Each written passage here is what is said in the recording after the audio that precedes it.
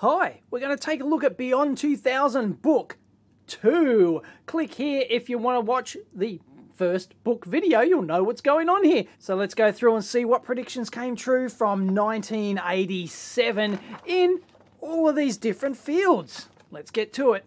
Actually, there's an interesting bit of uh, timeline here on what goes into actually producing one of the uh, Beyond 2000 episodes, so I'll let you read that for those playing along at home. Fly-by-wire aircraft with the Airbus A320? Yep, we got those today. No worries. Planes practically fly and land themselves. Flying dinosaurs? Yep, I saw that in War Games in 1985. Jeez, so much for the future.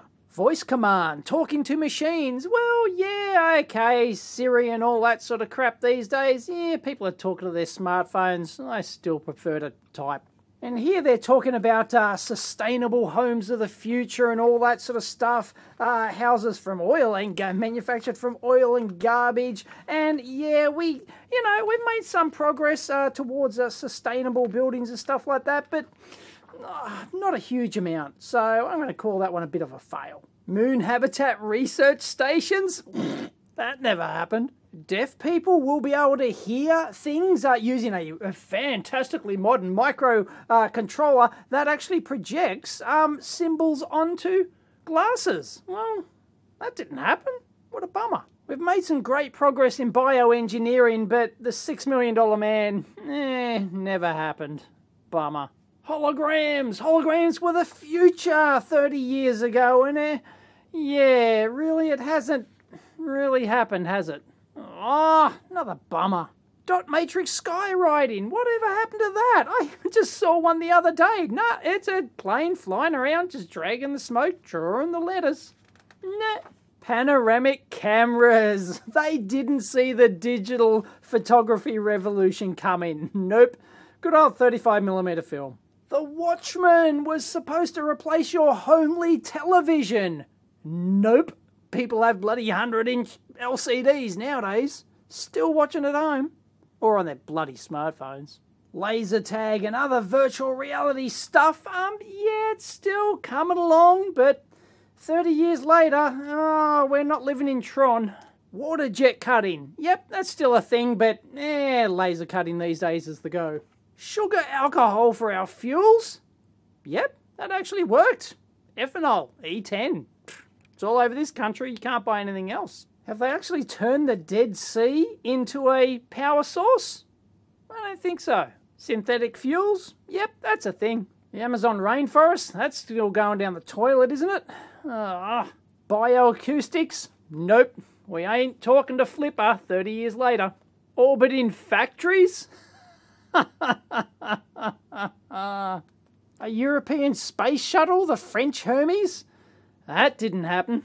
The HOTOL will be able to take off and land at any airport that's big enough to take Concorde, the British Airways HOTOL. Did that happen? Well, yeah, Elon Musk is doing okay now, 30 years later, but we've only just sort of haven't even perfected it. We've only just started really doing it. So 30 years later on SETI, and uh, did ET call? Nope, don't think so. How's the universe going to end? Well, within 20 years or so, astronomers will be able to tell us something about the ultimate fate of the universe. Will we face death by heating, or will there be a big crunch and all the rest of it? Well, I don't know. The verdict, verdict's kind of still out on that millions of files with millions of pieces of information on millions of people. And all it takes to see inside your life is a touch of a few buttons. We have every reason to be worried about the storage and possible misuse of personal data, but our high speed society is already dependent upon the computer's fast service. You think? Yeah, it's actually 1984 pretty much now.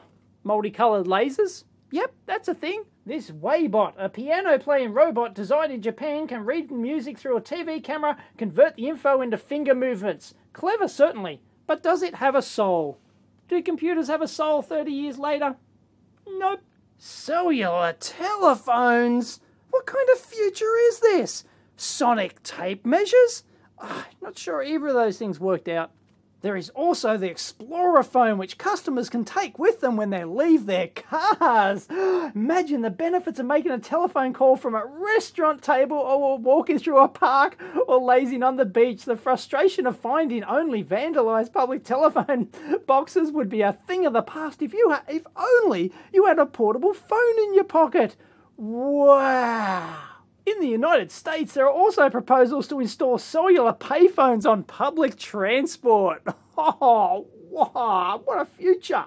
Like most sophisticated technology, cellular phones don't come cheaply. If yours is a household where the arrival of the domestic telephone account is a signal for wrath and frustration, you might be better off breeding a few carrier pigeons or, or taking some lessons in transcendental meditation. oh, goodness. Yeah, 1986. Video camera glasses. Yep, we've got those. And they still don't live up to expectations. They're hopeless. Lisa Plastic was supposed to be some new whiz bang plastic that would, uh, you know, amplify light and light up stuff and things like that. I just Googled Lisa Plastic and I got plastic bloody surgery. Lisa's ability to amplify visible light will be used to brighten up a whole range of goodies from jewelry and emergency exit signs to calculator and wristwatch displays, even perhaps as a way of efficiently capturing solar energy to run power plants. Um, nope. Flat tyres will be a thing of the past in the future. Nope. For all you car aficionados, whatever happened to the Vector W2? Oh, baby. Look at that interior. Oh, that's the future. I've got to say, that book was pretty disappointing. Let's try book three, shall we? And these gems come from 1989, so that was, geez, practically the 90s. Surely they would have got the predictions right. Well, right off the bat, we ain't using floppy drives anymore. Ultralights, aviation for the masses. Eh, not really. The Cray 2 supercomputer. Oh, what a Bobby Dazzler. Look at this. 250 megaflops a second. Oh, it's just unbeatable. Jetting into the 1990s, we'd be going back to propeller jets. Um, yeah, no. X-Wing, the shape of the future. Nope. As a result, many of the problems that plagued conventional helicopters will be eliminated, and it is likely that helicopters built using this principle will eventually achieve much the same speeds as conventional aircraft. Well, no, that didn't really happen. Sorry. But paraplanes are the future. Anyone can learn to fly one in an hour. Never really happened.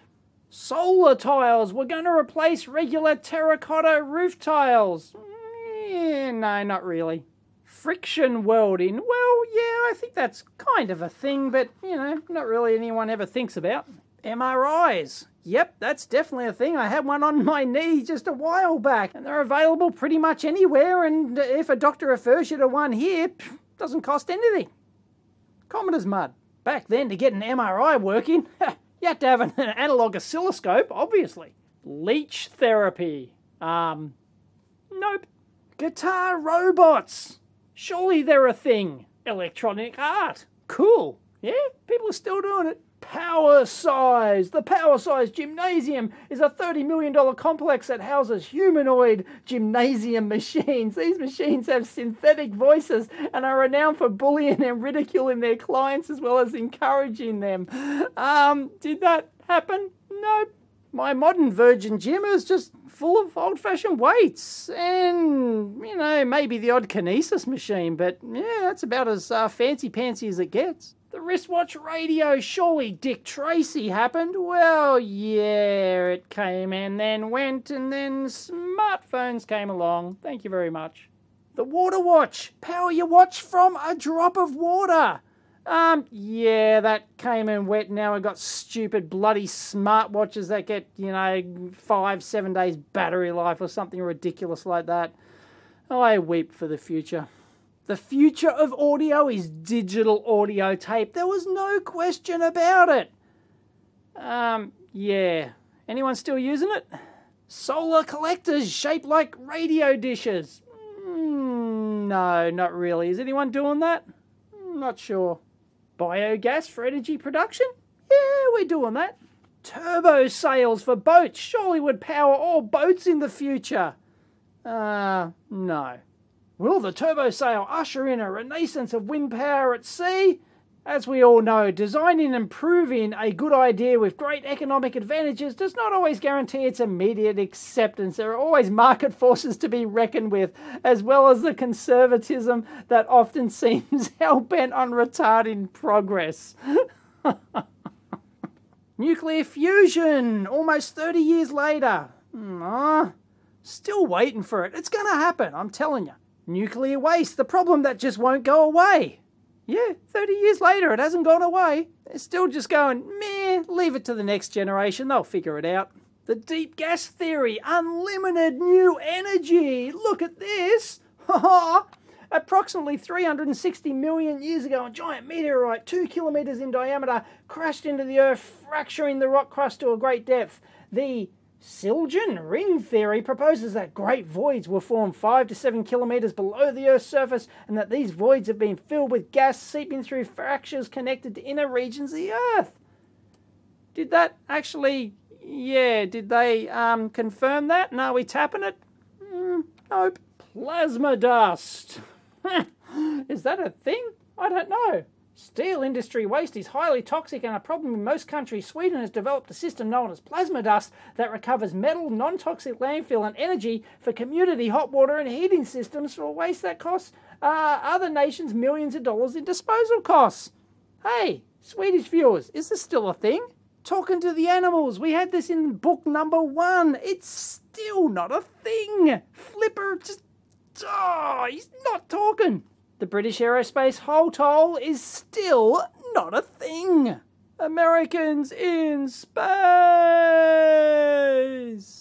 Yeah, we all know what happened there. Hmm. Mars rovers, though. Yep, we did that. Awesome. Space tugs. Um, nope. Space gets internationalized, and they're talking about Japan and their space efforts, and well, they didn't fare a huge amount better video helmets were to be the thing, and they still aren't. They still suck. Mission to Mars. Ah, uh, yeah, it's just, uh, it's kind of revived now. All the 2030s, they're saying, you know. Before the end of the century, robots will have landed on the surface of the planet and blasted off again, bringing back to Earth the first Mars rocks. Nope. But the surface will have been mapped as precisely as the Earth's. Oh, yeah, we're doing pretty good there, so, you know, I'll give that one a win. Um, one day, early in the next century, a human being will walk on Mars. 30 years after, at least, if that even happens.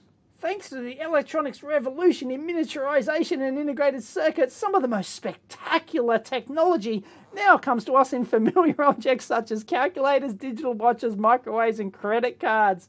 One slender wafer or disc of silicon, only 100 to 125 millimeters wide. It can hold more than 200,000 electrical components. oh my goodness. Oh yeah. What is it? 10 nanometers these days? Electronic books. Yep.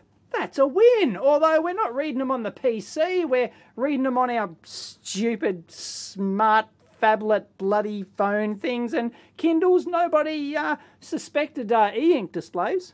IKEA. Yep, they're still around and yep, they're still not paying any taxes the Model Z X ray system exposing the features of terrorism. And here they are predicting the Kindle with the Holy Bible on it. anyway, um, yeah, with the uh, uh, LCD display, no, it's all e ink these days. But hey, electronic books were a thing, but have a look how they were delivered. Country of origin, Australia, thank you very much. 2,300 pages of text only for 130 bucks Australian. You bloody ripper. When searching for something new to whet your electronic reading appetite, all you have to do is insert your text pack into an automated teller machine and punch in information about the text required. The relevant prose would be quickly downloaded from the publisher to your pack via a telephone line. Anyone remember the Domesday Project, the Domesday Book? Um, that was a BBC thing to try and like capture like a Wikipedia style uh, snapshot of Britain at the time with like photos of streets and things like that. And oh goodness, there's the tech specs for those playing along at home.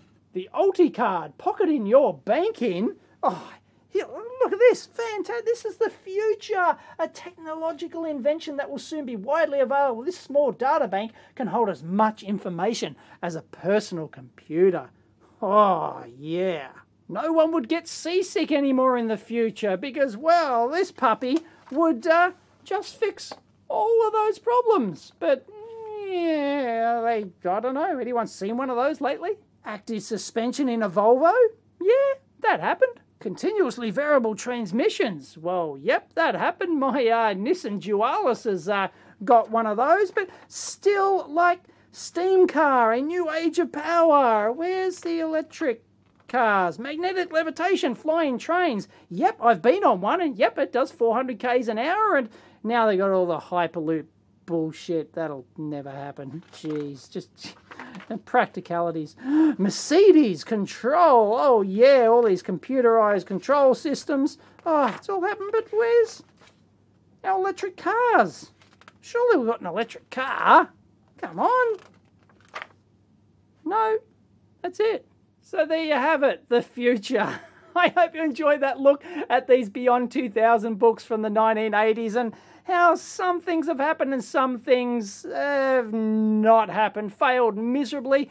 But most of the uh, stuff that we take for granted these days, which has revolutioned our lives, basically nobody predicted the internet and smartphones and the communications revolution and the e-commerce resolution, uh, revolution online and all that sort of jazz, and let alone YouTube, Twitter, and the whole rest of it. Let's just forget Facebook ever happened, shall we? Hmm.